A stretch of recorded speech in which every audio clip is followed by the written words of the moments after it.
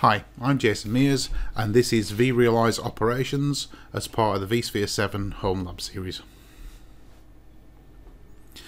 So to begin with, I'm just in vCenter Server and I'm on the Home view, which you can see on the left hand side uh, with the little house on it. Uh, you may be more familiar with the Hosts and Clusters view, which is what uh, most people have gone to in previous versions. You can see there I'm just looking at vCenter plus a data center underneath the data center a single cluster and under the cluster are four vSphere 7 hosts.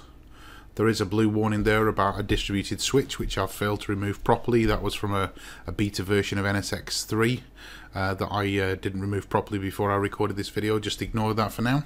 But what I'm going to do, I'm going to click on the menu I'm going to click on vRealize Operations, which is a new section from that menu up in the top left hand corner of the uh, screen.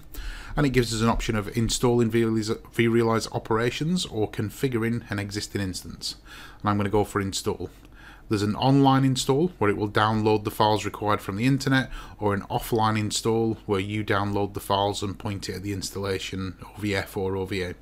So I'm going to go for the online version and I'm going to give it the IP address of my vCenter server.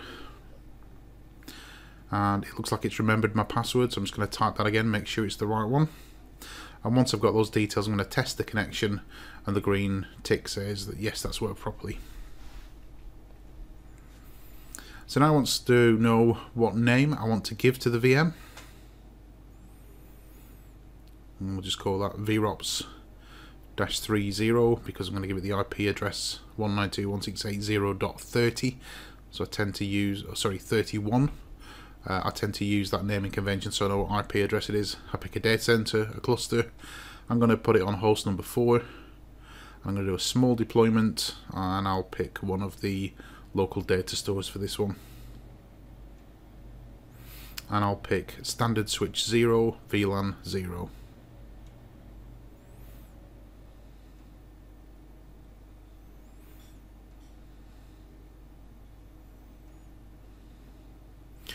So now I need those network details. So as I said before, 192.168.0.31 is the one I've set up for this. I've also got forward and reverse DNS set up. In my home lab, I use a Synology NAS with the DNS package. Just seems the easiest way of doing this.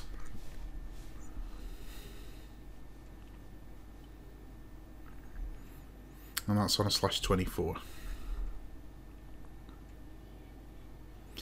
So IP address, DNS server, gateway and network mask. And it asks me if I want to point it at a different vCenter, but I'm actually going to point it at the one that I'm installing this on. It may be that if you have a management cluster, you want to point this at another vCenter server somewhere else in your organization. I'll just check those details there. They look fine.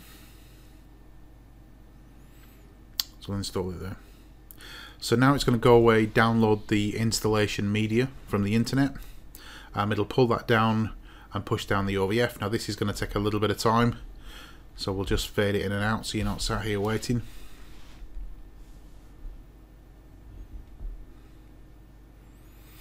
So the OVF has been pulled down, um, it's been deployed and it's just going through the configuration. You can see at the bottom it says that the current state is that the initialization has been successful.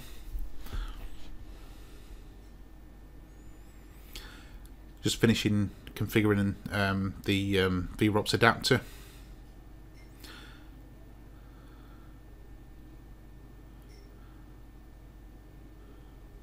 and that's it installed. Now it is worth mentioning that it takes a little bit of time to gather all of the information and all of the data so don't draw any conclusions from the da dashboard when you first see it up. Um, I would give it at least 24 hours before taking any notes of anything in this dashboard just yet um, for any kind of um, detailed analysis, I'd I'd leave it a couple of weeks um, just to catch things like month end. But um, yeah, so so it's up and working and it's collecting. We just need to leave that running for a while now to actually get some data inside it. But the product has been installed. The next thing is doing the actual initial configuration, which we'll do in another video.